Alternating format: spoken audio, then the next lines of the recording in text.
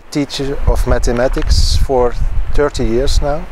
I've always been interested in innovative things and now I'm always looking for interactive things to improve teaching of mathematics because a lot of students don't like mathematics because they think it's difficult and it's boring so I try to change a little bit that.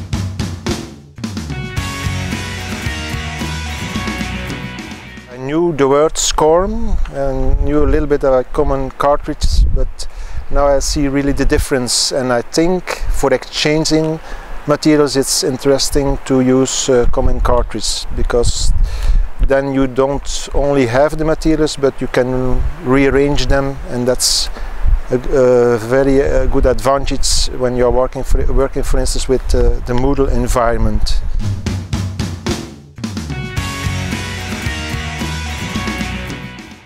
Using Moodle with the common cartridge is a, really an advantage. I tried it this afternoon and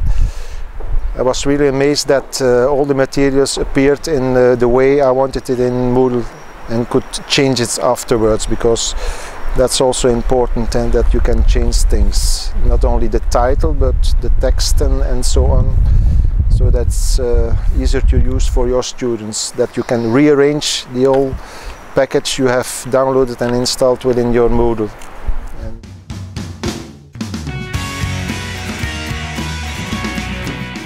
I think a lot of other teachers are also willing to create materials, very good interactive things.